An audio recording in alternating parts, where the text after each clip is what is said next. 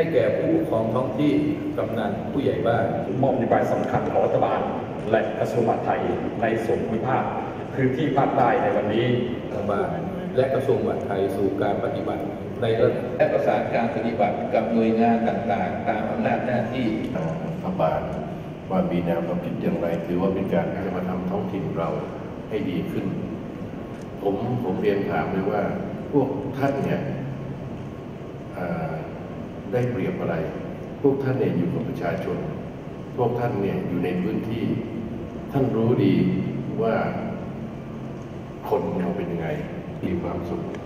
ถึงมีความสะอาดหน้าที่ของท่านทั้งหลาย เพราะนั้นก็ยุนะว่าถ้าผมไม่ทราบตอนนี้ติดขัดกฎหมายอะไรหรือเปล่าปี53การไปดูงานไม่ว่าในความแชร์ประสบการณ์กัน อย่างแม้ว่าจะไม่เหมือนเราเพราะเขาอ่ากลับมาดู อันนี้เป็นความสำคัญของท่านนะผมพูดแล้วว่าอยากให้ท่านมีประสบการณ์ท่านจะได้มาตั้งใจดูแลพื้นที่ มาดูว่ารัฐบาลท่านนายกรัฐมนตรีเนี่ยห่วงเรื่องอะไรในขณะนี้ก็ต้องมีการพิจารณาท่านนายกรัฐมนตรีแผนตัวนี้เนี่ยเวลาเขียนเนี่ยมีแนวความคิดว่าให้นะครับว่าอย่างไรลองมันดูให้มันสอดคล้องกับแผนตัวนี้ประชารัฐเนี่ยเขาให้ ภาคใต้เราพอเข้ามาเนี่ยเราเราทรัพยากรธรรมชาติเราไม่ธรรมดานะในโลกนี้เนี่ยผมถือว่าหัวหน้าศูนย์วิจัยทั้งหมดอยู่ในจังหวัดช่วยกันคิด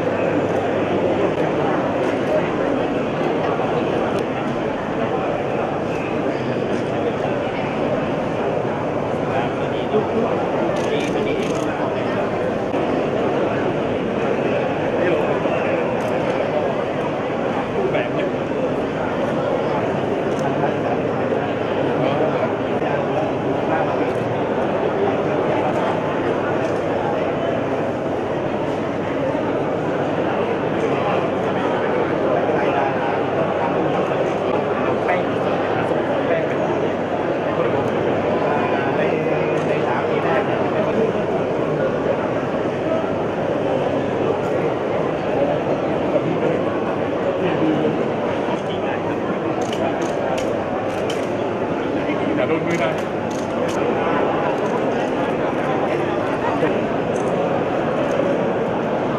ที่มาวันนี้นะครับผมมาพูดกับ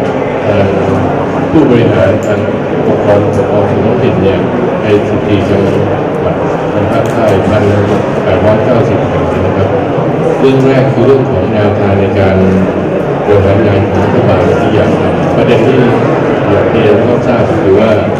ในปีงบประมาณ2559นี่นะครับที่ผ่านมาแล้วเนี่ยที่เริ่มต้นมาแล้วเนี่ยเราจะบริหารโดยใช้ยุทธศาสตร์นะครับแล้วก็ทำลักษณะที่ว่าทำร่วมกันที่ท่านนายกรัฐมนตรีพูดเสมอว่าประชารัฐก็คือว่าในการพัฒนาของท้องถิ่นไปเชื่อมโยงกับของจังหวัดในการพัฒนาจังหวัดทุกจังหวัดเนี่ยก็จะทำให้พี่น้องประชาชนทั่วไปทั้งหมด